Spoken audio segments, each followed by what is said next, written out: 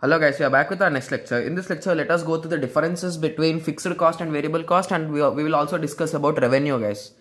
Okay, so what is fixed cost guys? Fixed cost is nothing but for a particular product if the cost is fixed. Like even for the long time it is only 10 rupees, it is not increasing or decreasing. So that kind of cost will be calling it as fixed cost whereas variable cost with respect to time or with respect to some other issue it will be changing.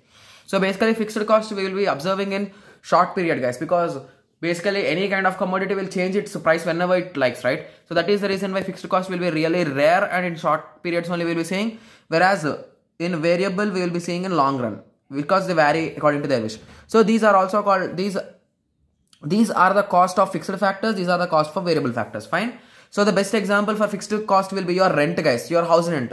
You'll be having an agreement right? So for, for one year per month it is only 10000 or 5000 or 3000 like that you'll be having a fixed agreement so that is nothing but rent, even wages. Wages are nothing but for your daily workers, guys. Please remember that.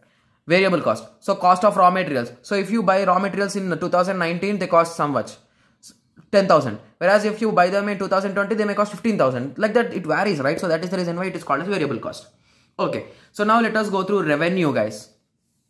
Okay. Please remember that revenue and profit are completely different, guys. So please don't confuse among them. So revenue. Revenue is the amount that you get out of the business guys by selling the products. That's it to be clear. So the money or cash that a firm earns by selling the products is revenue.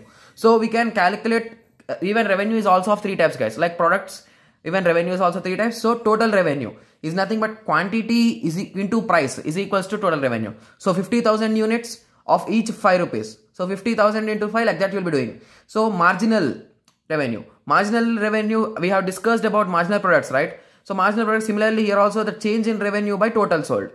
Similarly, average revenue is nothing but total revenue by number of solid uh, units sold. So I hope everyone got a small idea on this revenue and fixed cost. So in the next lecture, we'll be going through an important concept that is called as break even analysis.